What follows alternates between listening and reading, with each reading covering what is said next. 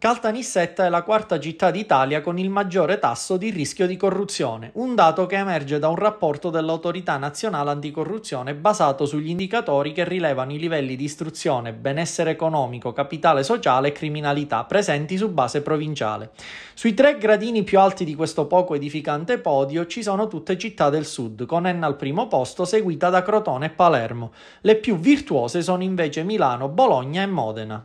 Gli indicatori possono essere considerati considerati campanelli d'allarme, hanno spiegato i vertici ANAC. Non sono un giudizio né una condanna. La corruzione in Italia e nel mondo è sempre stata quantificata in base a percezioni soggettive, condizionate spesso dalla eco di inchieste giudiziarie o giornalistiche, più che su dati oggettivi.